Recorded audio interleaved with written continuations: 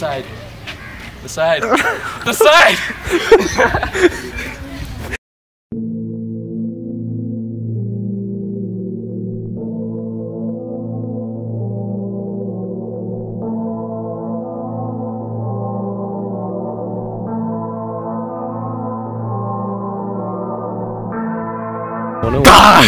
All right. Now, gotten a lot of requests for this from Vietnam. I don't know why. we want to know the difference between a pull-up and a chin-up. That's right. Because for some reason, some sissies don't know. So this is a pull-up, and this is a chin-up. All right, Okay. that's it. Bye.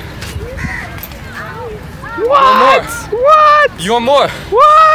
All right, fine. Let's give What? you more. What's gonna be the difference in the benefits when you're doing a pull-up or when you're doing a chin-up? So when you're doing a pull-up, you're like this, right? Your palms are facing forward. Okay. You can see that this muscle muscle slowly uh, comes out a bit more. This means you're using your forearm a bit more than you usually would, because your fingers are facing that way. This is called a pronated grip, but nobody cares about the name. So, facing this way, this is what the pull-up will do. It'll also engage your lats a lot more because you're not using your bicep as much when you're doing the pull-up. Alright, you can see the difference. When I change my grip like this, the bicep suddenly gets activated. When I do this, it's not. So this will make your back engage a lot more, especially your lats. So, when you do this, you'll get those muscles in. So forearms, back, and lats. All right?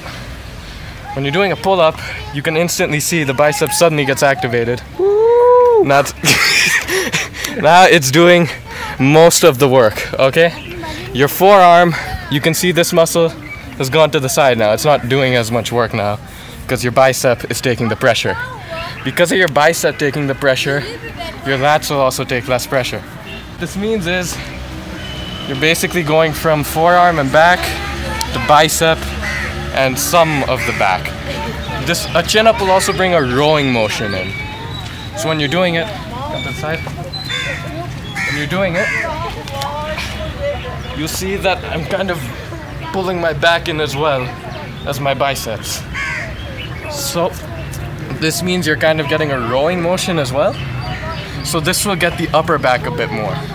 It won't get the lats as much though. So your biceps and upper back, and a pull up, you get the forearms and the lats more. Now, how to do it proper form. So your arms should be about shoulder length. You can change this as you want later. I don't know what you guys like. Grab it. All right. Then what you want to do is you don't want to use your legs for kipping. You want to keep your legs like this or like this. Keep your legs in a straight place and make sure you're not dangling too much.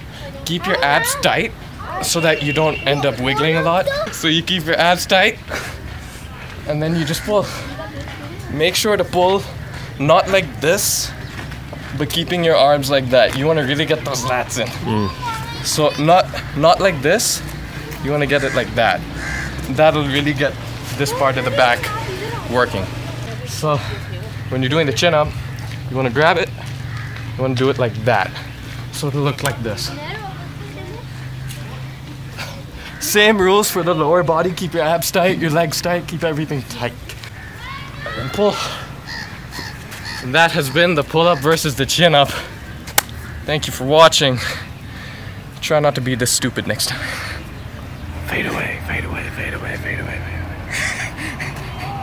fade away. You do realize I'm gonna edit a lot of this out. Alright.